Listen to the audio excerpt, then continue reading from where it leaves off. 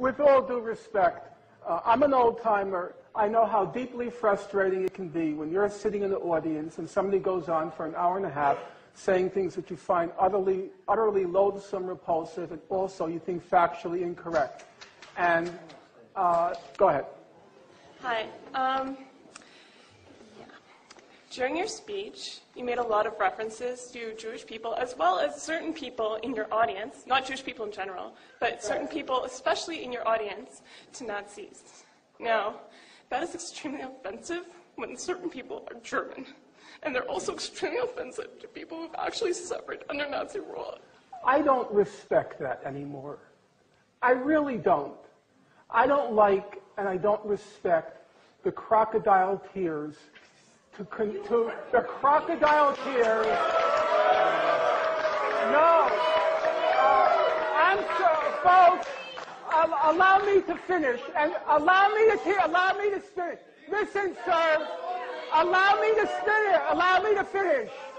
Uh, sir, sir, I don't like to play. I don't like to play before an audience the Holocaust card. But since now I feel now I feel compelled to, my late father was in Auschwitz. My late mother, please shut up. My late father was in Auschwitz. My late mother was in Majdanek concentration camp. Every single member of my family on my father's side, on my father's side, the Jews did not take arms against the My late father was in Auschwitz concentration camp. My late mother was in Majdanek concentration camp. Every single member of my family on both sides was exterminated.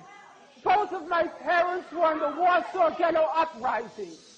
And it's precisely and exactly because of the lessons my parents taught me and my two siblings that I will not be silent when Israel commits its crimes against the Palestinians. And I consider nothing more despicable than to use their suffering and their martyrdom to try to justify the torture, the brutalization, the demolition of homes that Israel daily commits against the Palestinians.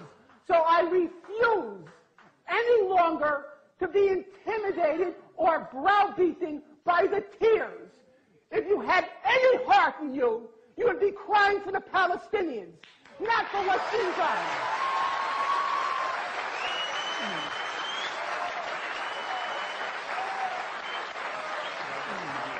What? Can I respond to the audience?